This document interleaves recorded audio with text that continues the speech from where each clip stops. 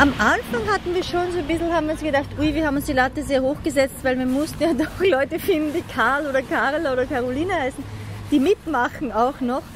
Und das war am Anfang schon so ein bisschen schwierig. Und wir haben uns dann aber halt richtig reingekniet und deswegen eben auch nochmal das Karls Café, das jetzt da drüben stattfindet, um das nochmal zu feiern, dieses, diese Verbindung, die da gelungen ist zwischen den Karls von heute und den Karls von, aus der Geschichte. 嗯小哥们儿挺大个儿两个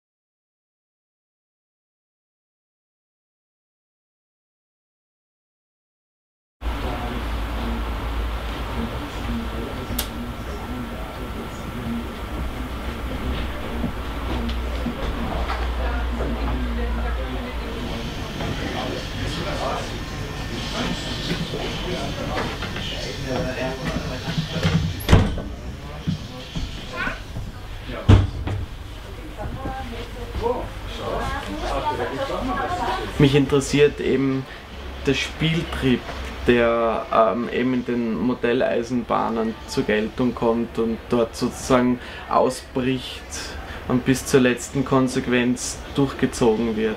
Das, ich könnte jetzt auch genauso gut Modellflieger nehmen oder irgendwelche fanatischen ähm, Rollenspieler oder so. Das, das geht natürlich auch. Also es, die Modelleisenbahner stehen für andere auch. Ich selbst interessiere mich nicht für Modelleisenbahnen, sondern nur für die Modelleisenbahner.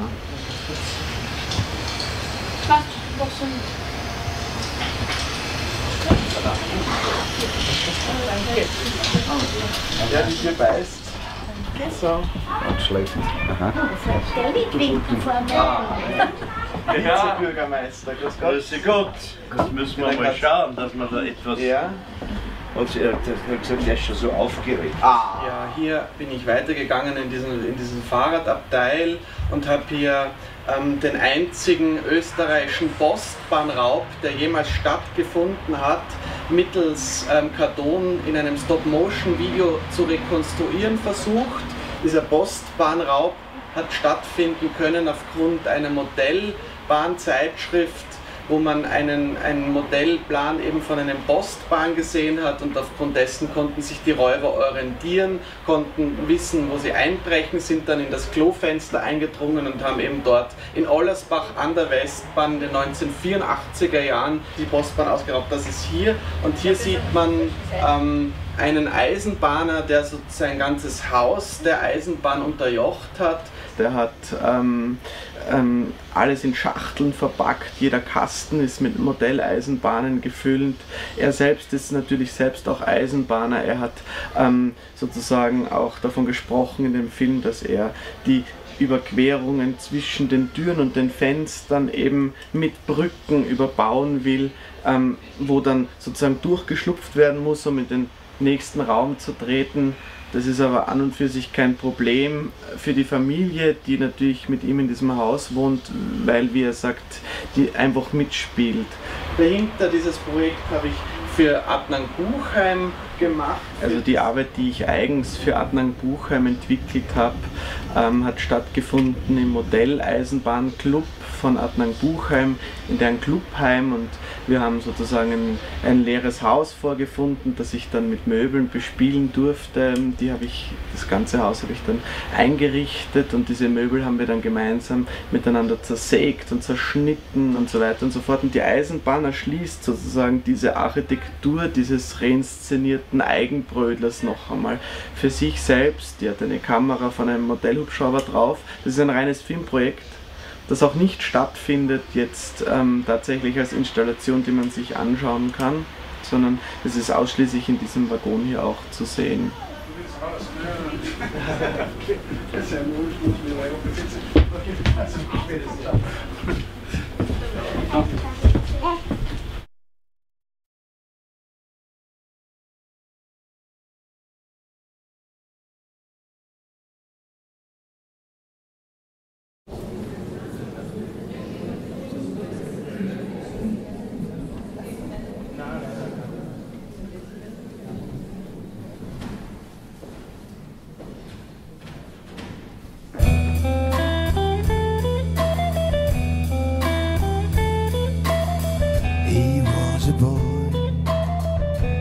lived in the big city.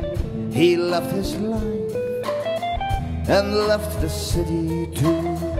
And every minute, every hour that passed, the part of just another, the part of just another, another happy day, another happy day.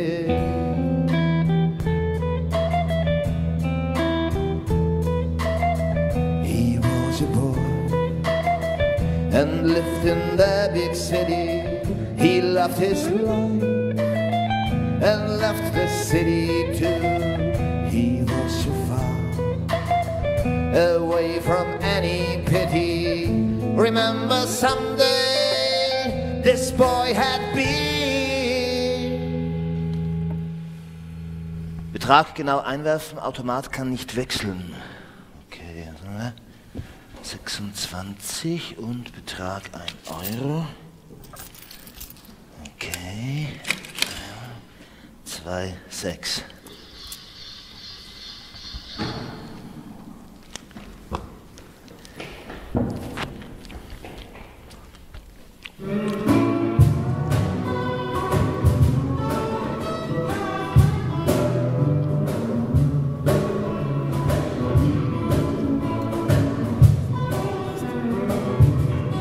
Wenn ein Güterzug durchgefahren ist, dann habe ich mich manchmal ganz dicht an die Gleise gestellt und habe gesungen. Ganz laut. Geschrien fast.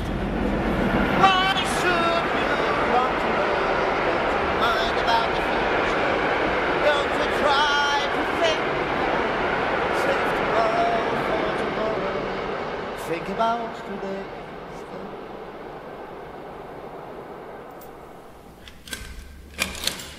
Drei, sechs. Eins drüber, hey!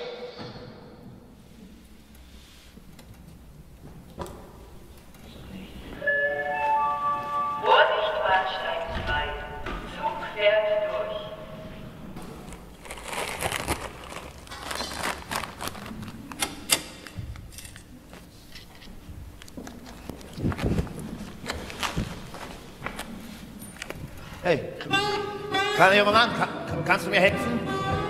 Bei mir funktioniert das nicht. Ich bezahle Sie auch, wenn Sie mir helfen. Sprechen Sie kein Deutsch? Please help me, I'll pay you. Aber das Tollste ist Fliegen. Alle drei Dimensionen. Rauf, runter, vor, zurück, links und rechts. Freie Bewegung.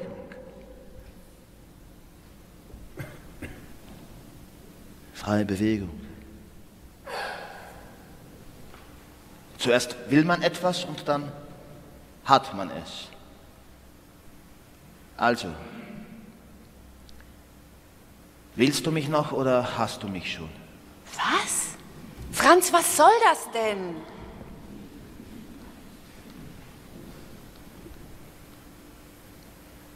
Wärst du glücklicher, wenn ich nicht mehr nach Hause käme?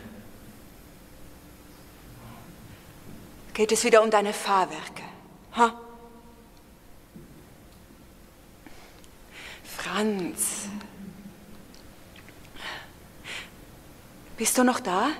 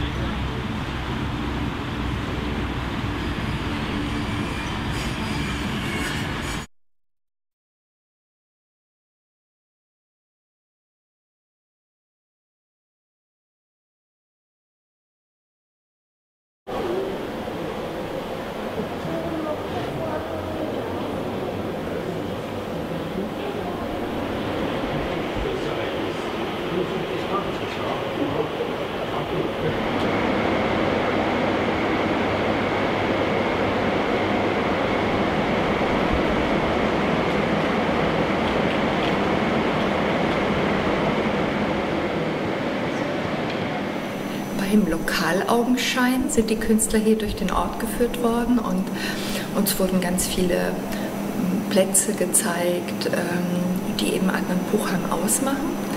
Und äh, wir alle sind da mehr oder weniger rumgestrollt und noch die wenigsten werden gewusst haben, was sie überhaupt äh, machen wollen. Und zu Hause fing dann insofern die Arbeit an, als man sich mit der Geschichte des Ortes beschäftigt hat. Und mich hat wahrscheinlich wie so viele Künstler zunächst natürlich der ähm, April 45 sehr beeindruckt, also der auch ein Trauma im Grunde, der die, der die ganze Stadt traumatisiert hat. Und das war auch der Punkt, wo ich dachte, damit möchte ich arbeiten. Dann hat sich aber im Laufe der Zeit äh, der Wunsch entwickelt, dass also äh, möglichst indirekt anzusprechen und über das Bild, was ich erzeuge, auch noch ganz andere Assoziationsebenen zu erzeugen. Und ich befinde mich nun mal jetzt im alten Kino. Die Auswahl des Raumes ähm, hat dann äh, insofern die Arbeit beeinflusst, als ich dem nichts hinzufügen wollte, sondern mit dem arbeiten wollte, was schon vor Ort ist.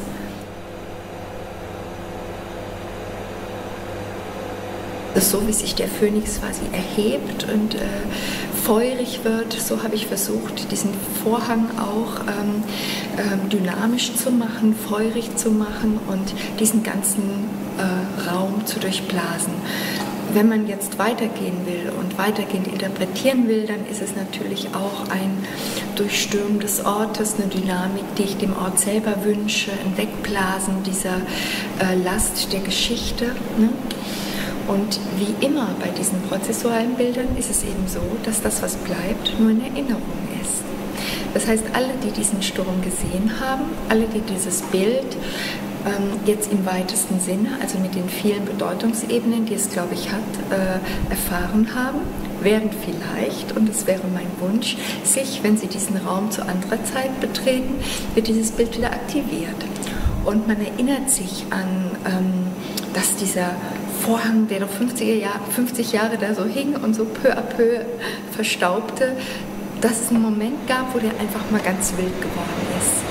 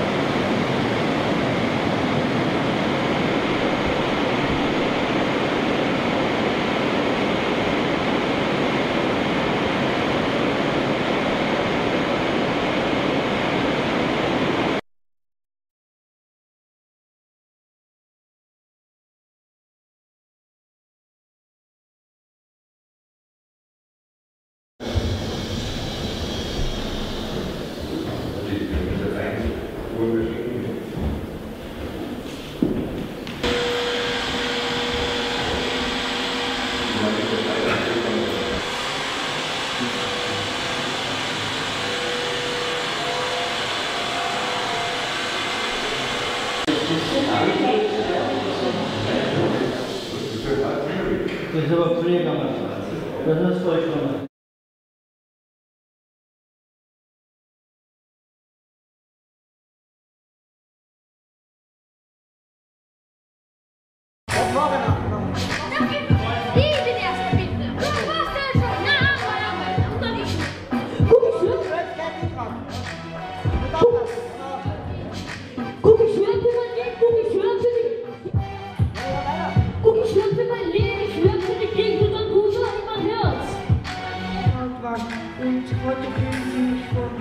genannt habe. Mein Kopf ist schon gefickt, ich hab die Schule verkackt, mach die Kippe und fahr durch die Stadt.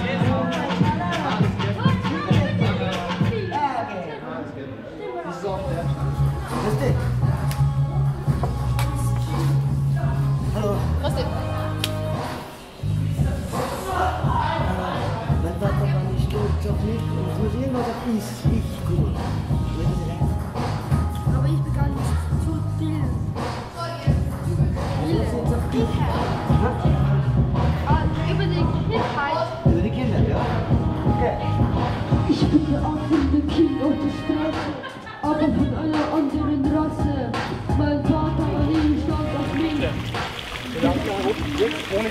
Ja, was ist, wenn man hängen bleibt? Ah, das tut mich nicht. So, schaut, dass die Fersen frei ist. Genau, so rüber. Weil dann gibt es doch mehr Federn, weil immer mehr schwimmen. Ja, ja. Ah, nein. Da nach oben, schauen, dass man die Hände flach hinkriegt. Ja. Dann da.